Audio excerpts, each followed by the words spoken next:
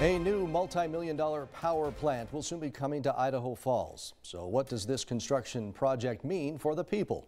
Local News 8 Seth Ratliff is getting the answers. Todd, sparks fly this Valentine's Day, and in addition to the electric feeling in the air, the city of Idaho Falls has announced a $36 million power plant. I'm standing at the future site of that plant off Iona Road near the intersection with Yellowstone Highway.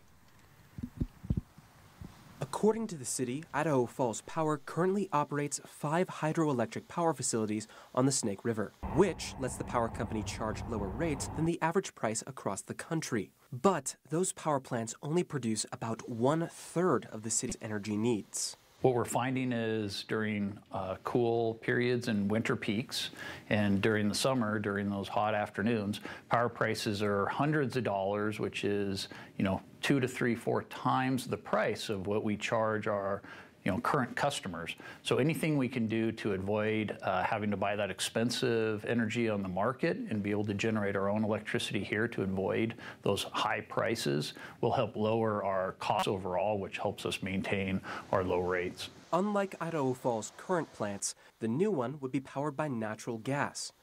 But the city told me they're looking into future opportunities to switch to a cleaner energy source. One of the great things about the uh, designs of this plant and the generators is they are looking at the potential uh, use. They can burn uh, hydrogen, which is a non carbon emitting fuel source. So, this is going to be a clean energy research park on top of uh, this generation facility that will help keep rates affordable uh, and provide reliable power for Idaho Falls for years to come.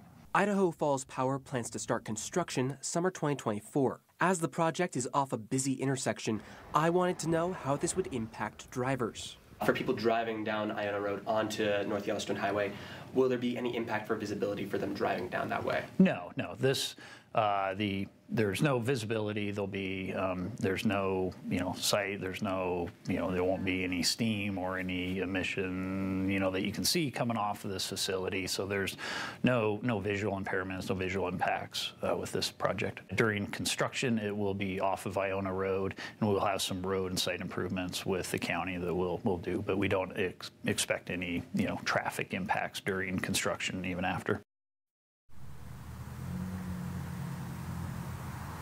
They estimate that plant will be fully operational by December of next year. Reporting live in Idaho Falls, I'm Local News 8's Seth Ratliff.